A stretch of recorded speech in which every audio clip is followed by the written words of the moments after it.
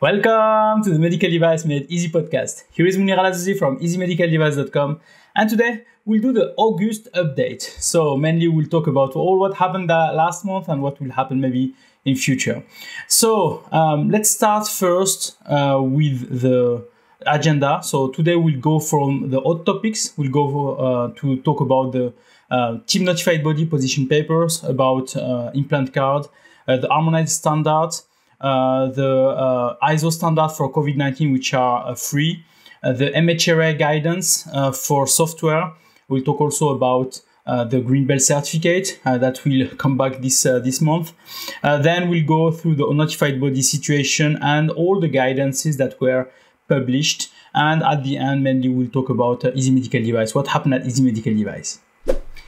Okay, so let's start with team notified body.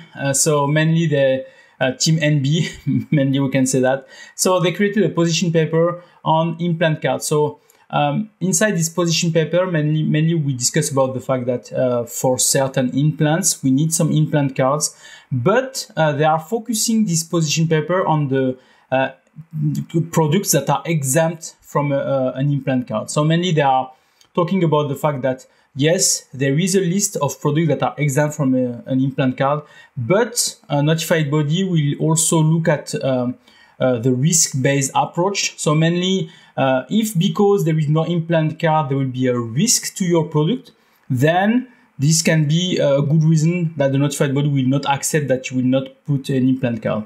There is also a lot of things related to some um, vocabulary used, like, uh, for example, wedges. Uh, which is a term used in the industry, but it's not really a, a term that is really understood about what is content on this. So there is a lot of product that can be included on that. Uh, uh, wrongly maybe, uh, and then this can be an issue. So here the idea is to say, um, for to the industry mainly, um, let's try to be responsible and to say, uh, if you see a risk and if this risk can be only mitigated by the use of an implant card, then do it. Use the implant card for that because uh, notified bodies will also look at that uh, that for for this uh, this element. So if you want to look at uh, the full document, so it is on the show notes. Uh, it's really important. I think that you are going there. There are inside some decision trees. There are a lot of explanation that can guide you on uh, if you need or not to implement implant card for for your products. Then we go to harmonized standard. So we talked a lot about harmonized standard, the fact that it was not uh, available. Now it will, it starts to be available. So we had uh, this month the publication of the first harmonized standards uh, for MDR and for IVDR. So, for example, for IVDR, we had a standard related to sterilization uh, with the ethylene oxide, sterilization for radiation, uh, the test of sterility, uh, sterilization on low temperature, steam, and uh, formaldehyde. Uh, so you see that a lot of focus on sterilization. For MDR, we had the same plus uh, one related to a test of irritation, the 10993-23. So these are the first standard that are harmonized under MDR. Uh, which doesn't mean that th- this is the only ones. So there, are, there will be another update with more uh, standards to come. But these are the first ones. Uh, and then, uh, yeah, um, you have to use them as harmonized standards. But don't forget that all the other standards that are common, if I can say, like uh, ISO 13485, ISO 14971, even if they are not harmonized for now, uh, it is the state of the art. So you have to use many of those ones as uh, as harmonized standard or as standard for your for your company. So um, we had an episode if I remember, with um, Martin Witte related to this kind of uh, thing, Martin Witte from TÜV Süd. Uh, and we discussed about that and we, we discussed about the fact that mainly we are, notified bodies are looking at the state of the art, what is really available at the time that he's making the, the audit. So you have also to do that. So the harmonized standards start to be published, but mainly it will not be, and it will maybe end in 2024 because we saw the agenda and there are some that will be planned for until 2024. So uh, you should not wait for the harmonized standard to start to do the job. Do the job um, without waiting for them. But if you want to see uh, the, the, the, the, document with the, the four or five harmonized standards that were published for now, so you can go on the show notes uh, and you'll see two documents, one for MDR and one for IVDR. Okay, COVID 19. So there are a lot of information about COVID 19. Um, I, I, wanted to show you a lot of things related also to uh, some uh, antigenic tests, uh, what are the common antigenic tests, etc. But when I reviewed the documentation, it was not really uh, interesting what is mentioned inside. But uh, an information that is really important is also the fact that um, because of this pandemic, uh, the ISO organization accepted to make some standard free.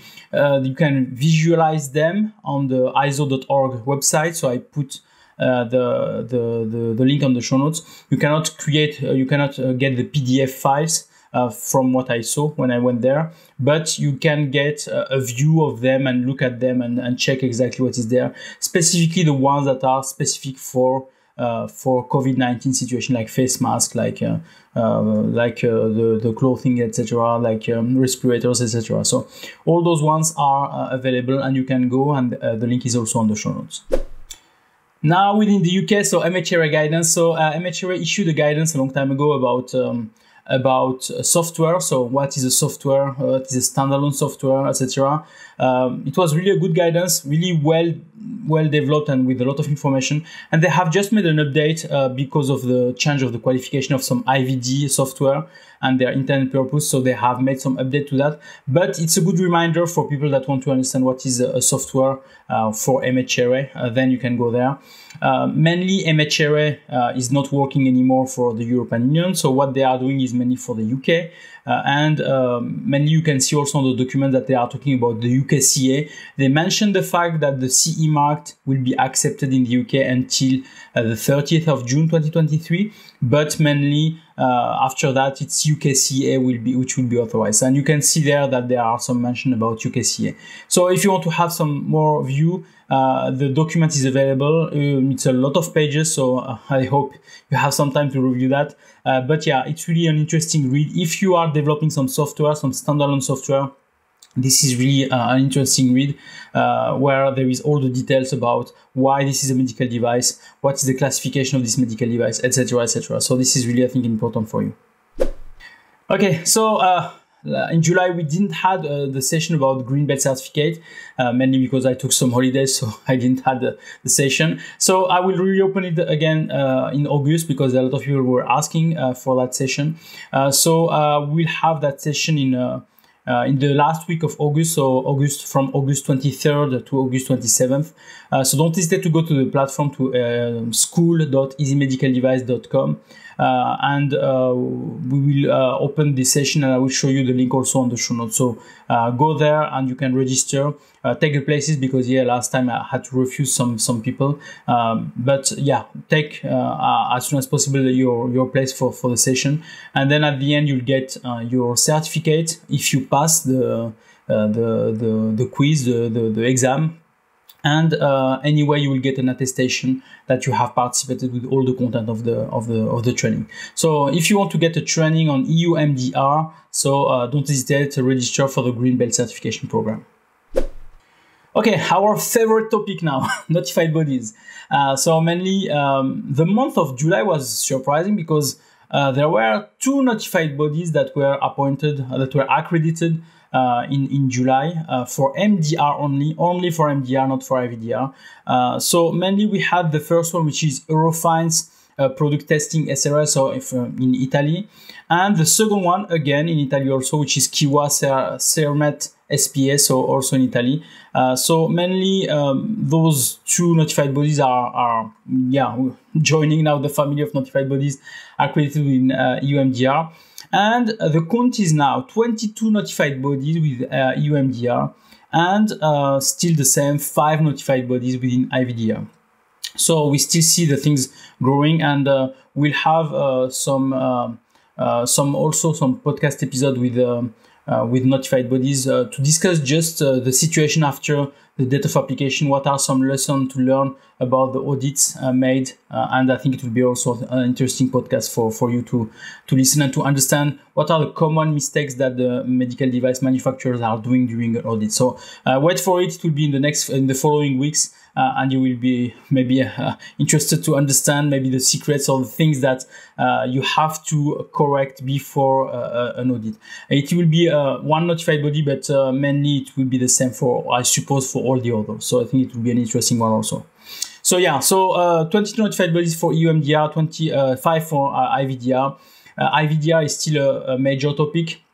Uh, I, I think you saw the, the, episode we have done with uh, Erik Vollebregt uh, last episode. Uh, we talked at the end of the episode about IVDR, and he was mainly saying that yes, there is more to do for IVDR, more to do for companies, which can create a big problem at the end. But yeah, well, let's see what the EU Commission has planned for, planned for it. Okay, now let's go to the guidances. So um, this month there was a lot of guidances that were issued, uh, some revisions also, but a lot of guidances. Um, but uh, yeah, yeah, there are some guidances that are not for manufacturers, but more for uh, some conformity assessment bodies. So we'll we'll look at that. But yeah, a lot of them. So let's let's start with the first one. So the first one is the MDCG 2021-13. Um, it was just a revision apparently uh, for that because it's uh, it's marked I don't know how they are doing their their their revision, but um, here it's it's marked revision one, and we are used to say revision one is the first document for initial document, but apparently they have a revision zero, uh, and then they make revision one uh, for their first update. But um, but yeah, um, so this is the quali- question answers for EUDAMED actors registration. And uh, here uh, they added uh, they added a, a, a, chapter at the end, uh, chapter nine, which is mainly about importers. So mainly uh, the importers, uh, they can assume the role of a manufacturer uh, following Article 16, uh, Part 1, uh, which is mainly the fact that they are getting a product and they are changing the intended purpose, changing uh, design, changing things on it. Then they become manufacturers. And the question is, should they register within EUDAMED as manufacturers? And the answer is yes, they have to register within EUDAMED as manufacturers as soon as they are changing the uh, indication, the, the name of a product, etc., etc. Um, and the second point was mainly about the the importers related to the 16 uh, part 2, which is mainly the fact that you are uh, translating uh, the documentation and also changing the, the packaging. Uh, this is not uh, considered as a manufacturer or activity responsibility. Uh, it's mainly the fact that they are doing that to just adapt to the market without changing any intended purpose, without changing the product, just uh, making it uh, adapted to the to the situation in the country. And there, you don't need to register as an importer, as a manufacturer. Anyway, an importer needs to register with within EUDAMED, so it's not like uh, they are not registering at all. it's just that for specific cases, you maybe have to register once or twice because you have maybe two functions uh, within the organization. So which is uh, which is important. So here it clarifies just the situation about importers uh, following Article 16. Then we have the MDCG 2021-14 where we have the uh, IVDR codes. So uh, we had in a precedent um, precedent uh, MDCG guidance the MDR code. So these are the codes that are used to um, to um, define a product uh, in terms of its code for the notified bodies. So uh, those codes are used by notified bodies to um, to define if they can because they have they, they are qualified per those codes if they can audit your products per this code and also to define if there is a not, uh, an auditor available to uh, to discuss about this and we will discuss also about that uh, during the podcast uh, I told you with notified body. Uh, so these codes are needed for MDR, but they are also needed for IVDR when you are doing your uh, application. So you apply to a certain uh, because you want a notified body to come to audit you. They are asking you to fill a form, and then on this form, they ask you what is your uh, IVDR uh, code, what is uh, all those information. And you have to be careful here. You have to provide the right information or you, to be careful on what you are providing because uh, if you are providing the wrong one, uh, you can have maybe some delay on your application because uh, they will check and they will find that there is something wrong here, uh, which can be a problem. So uh, this uh, this MDC guidance is explaining to you uh, what is this IVDR code. So I just um, captured some information from it. So mainly um, for MDR uh, code, we have MDA, MDN, MDT, MDS, etc. And each has its own uh, uh, own reason or own definition. Here we have five codes which are IVR, which is more for the intended purpose of the device. And we have here, for example, devices that are for uh, blood grouping or for human genetic testing. Uh, we have IVS, which are which is specific uh, some specific characteristic of the device. For example, devices that are used for near patient testing or devices used for self testing. Then we have IVT, which is describing a certain technology. It's normally uh, technology uh, made for manufacturing the product. So, uh, for example, here using some plastic processing, using some metal processing, uh, manufactured in a clean room. So these are some technologies used to make this product. Uh, IVP for knowledge in examination procedures. So mainly uh, what kind of knowledge do you need, uh, like biochemistry, like uh, chromo- chromosomal analysis, etc. And you have a last one, IVD, which is knowledge in uh, laboratory and uh, clinical discipline, which is more like uh, you have to have knowledge in bacteriology, in genetic knowledge, etc., etc. So these are codes that you have to define yourself. Um, so it's not like notified bodies will um, will give you the codes. Uh, so you have to fill the form and find the ones that are um, the best for your products. No need to put all the codes that you think and try to put uh, the necessary ones. So because yeah, I have a lot of customers that are also trying to dig dive, deep dive, I can say in terms of their processes. Oh, maybe we have a process on this, we have a process on that, etc. No, no need to to to, to go this uh, this far. Uh, just go on the surface and try to find all the information for your product on the surface. Okay, now, uh, as I told you before, we have some MDCG guidance that were issued uh, this month, uh, not for manufacturers, but if you are a conformity assessment body, so like somebody that is maybe just uh, making some um, some conformity for ISO 13485, for example, or other standards, and you want to become a notified body, then here there is um, the MDCG guidance or the MDCG, MDCG forms for the application, your application uh, to become a notified body. So we have the MDCG 2021-15, which is the application uh, for a notified body under MDR.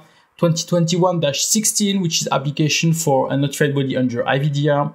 Uh, 2021-17, which is the scope, applied scope, like uh, what I've told you about the, the codes, the MDR codes, IVDR codes. Uh, you have here to define which code you want to apply for. Uh, same for 2021-19, but this one is for IVDR. Um, uh, dash 18, so it, it's for IVDR. So here, all those four uh, MDCG guidance are mainly for conformity assessment bodies. So uh, if you are not, or if you are a conformity assessment body, you have to use those uh, documents so that you can apply uh, for becoming a notified body under MDR or IVDR. Then we have uh, the guidance 2021-19, which is the guidance um, related to UDI. So here it helps you to define where on your quality management system you have to be careful about UDI, where you have to include that, where you have to uh, mention it, where you have to uh, to be careful of some aspects. For example, on the procedure for serious incident and field safety corrective action, uh, you have to have that. So you have to mention the fact that you have you are collecting the UDI number so that you can send that also uh, with your uh, application. Uh, another one is, for example, purchase control. Uh, for example, when you are purchasing some products that are medical devices, then you have to be sure that there is also a UDI code for this medical device.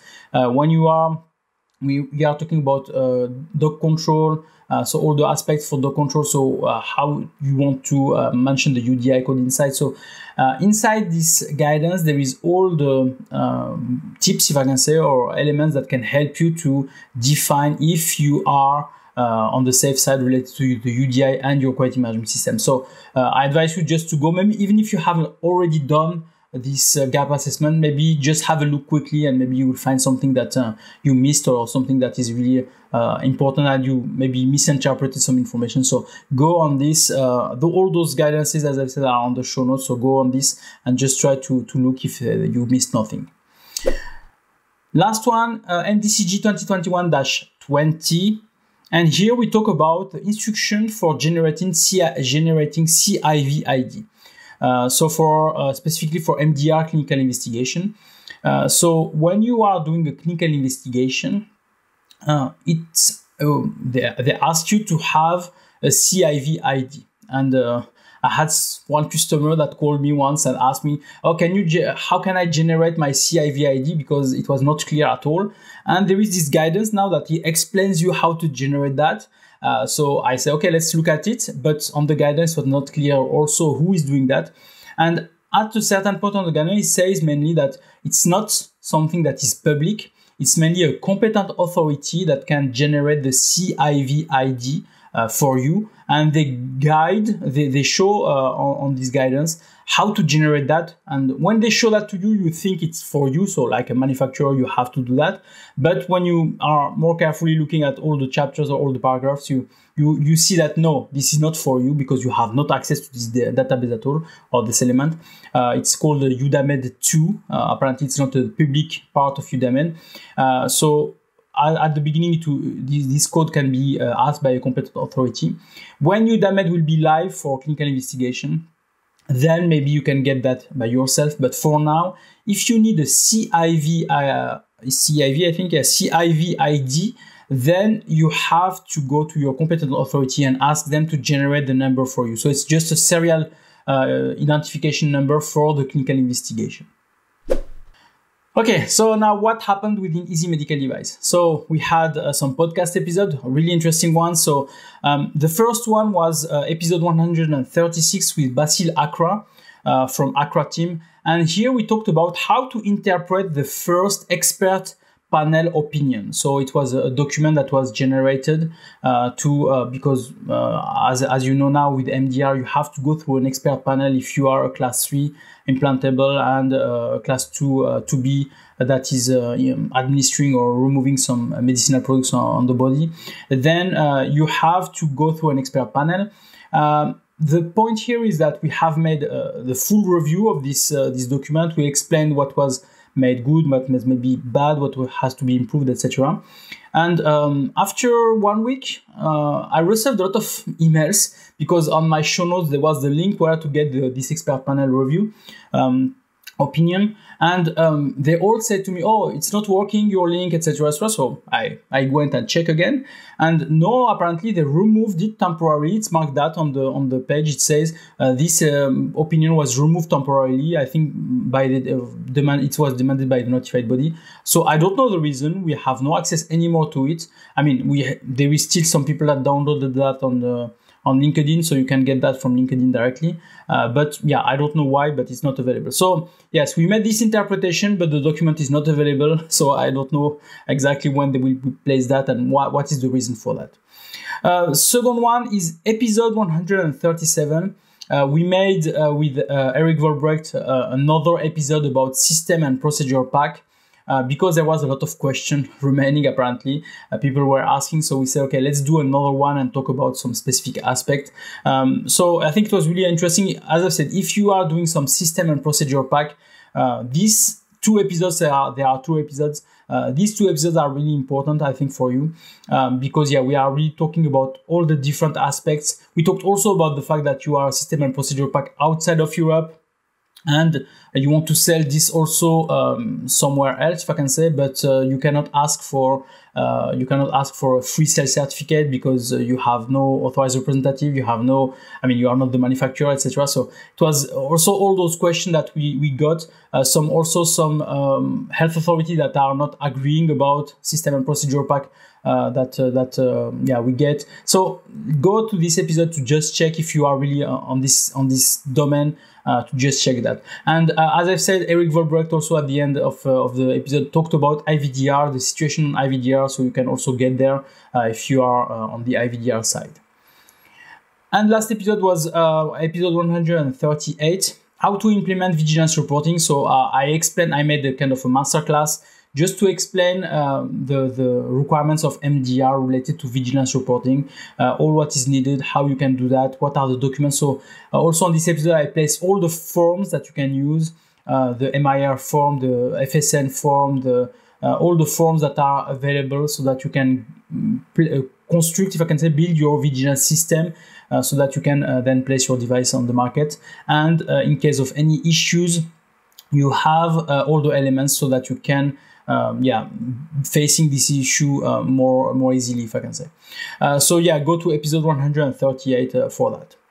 Um, so yeah, all the elements that we talked about today uh, are on the show notes. So I put all the links one by one so you can go there and just uh, check uh, all the elements. Uh, if you have any uh, question about that, don't hesitate. Uh, ask me on the comments. I'm always answering the comments on YouTube.